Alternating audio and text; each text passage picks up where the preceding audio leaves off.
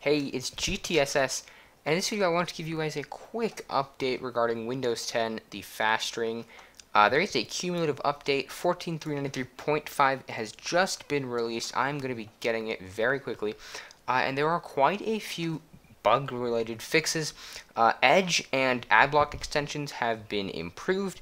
Uh, when your device is idle, uh, battery life has been improved. I haven't really noticed a battery life problem, but hey, it's been improved.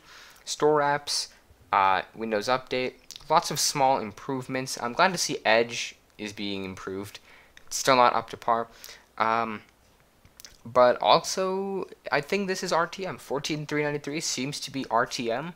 Uh, this is what's going to be released on August 2 in the anniversary update. So if you're on the fast ring, get this cumulative update. Uh, if not, uh, just know that uh, August 2's cumulative uh, anniversary update is looking pretty darn good. So that's pretty much it for this video, guys. Just a quick news update that the cumulative update is out. Thank you for watching, and be sure to subscribe for more news videos.